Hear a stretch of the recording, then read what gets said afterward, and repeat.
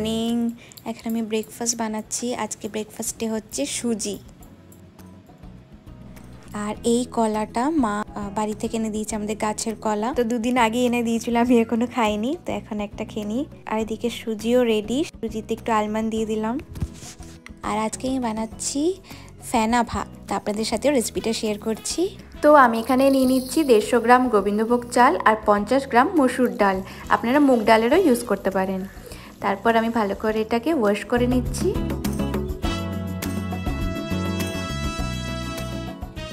তো এই যে ওয়াশ করা হয়ে গেছে, এবার আমি সবজিগুলো দিয়ে দেবো। তো আমি এখানে দিয়ে দিচ্ছি, আমার কাছে আছে মূলো, আর এটা হচ্ছে মূলোর পাতা। আর এখানে কুমড়ো, গাজর, আর এটা হলো পালং শাক। আর সাথে আছে স্কোয়াশ তো আমি মোটামুটি সব কিছুরই ইউজ করব। তো আমি এখন নিয়ে নিচ্ছি মূলো।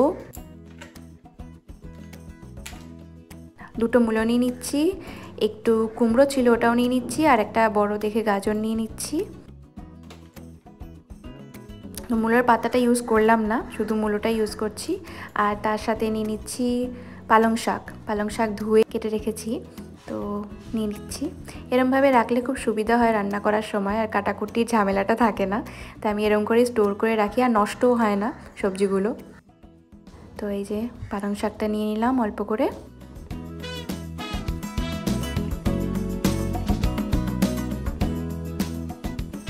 আর এদিকে স্কোয়াশ দুটো পিস নিয়ে নিয়েছি, আর পেঁপে নিয়ে নিয়েছি, আর সাথে আলু।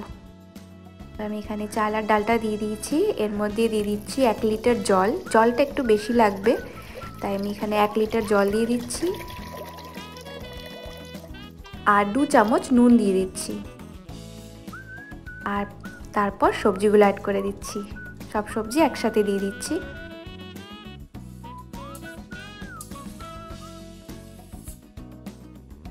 আর ওখানে তিনটে কাঁচা লঙ্কা কেটে রেখেছি, এটাও দিয়ে দিচ্ছি।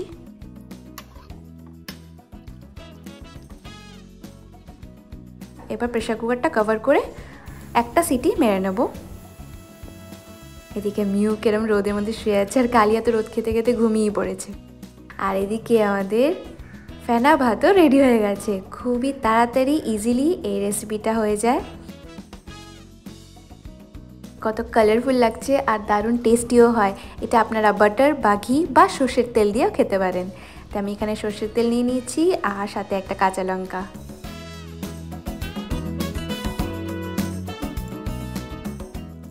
সবই ভালো মতন একদম সেদ্ধ হয়ে গেছে।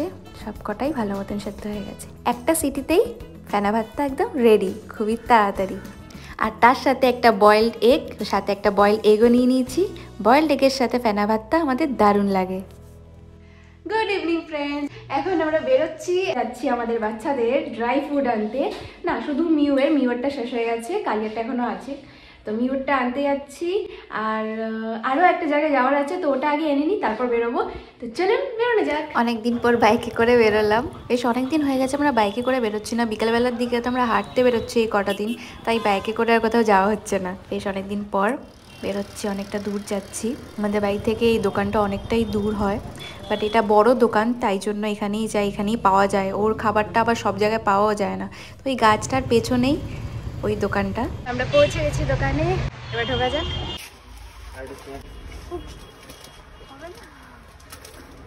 তো দোকানে মিউর খাবারটা নেই। স্টক শেষ হয়ে গেছে, এখন দেখা যাক কবে আসবে। মিউর খাবার পুরো শেষ হয়ে গেছে, এখন কি খাবে কে জানে।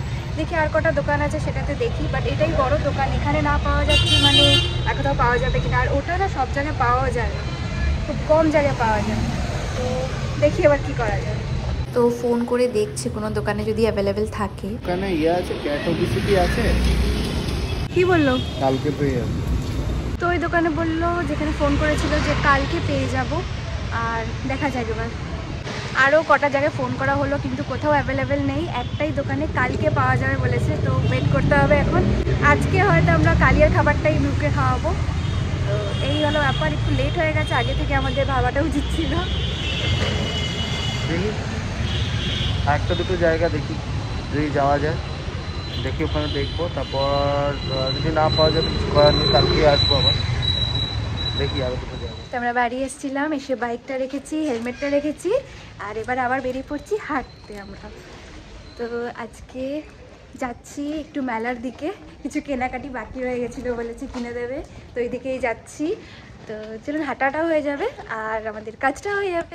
তো বাড়ি থেকে বেরিয়ে কিছুটা দূর এসেই দেখলাম যেখানে পৌষ পার্বণের কিছু মেলা টাইপের হচ্ছে। তো ভাবলাম গিয়ে দেখা যাক।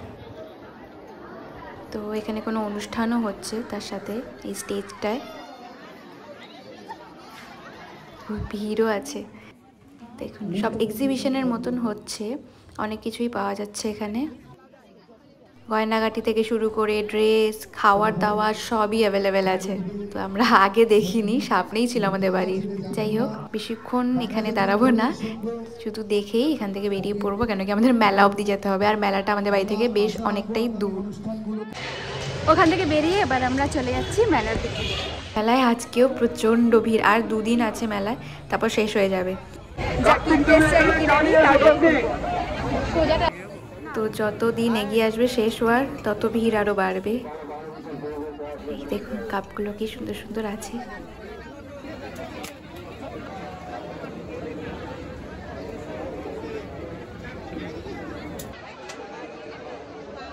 কত পাপড়। তো এখান থেকে আমরা আজকে পাপড় কিনে নিচ্ছি। এইটা কিসের আর এটা কিসের? তো এবার মেলা থেকে বেরিয়ে এসেছি। আমাদের যা কেনাকাটি ছিল সব কিনে নিয়েছি।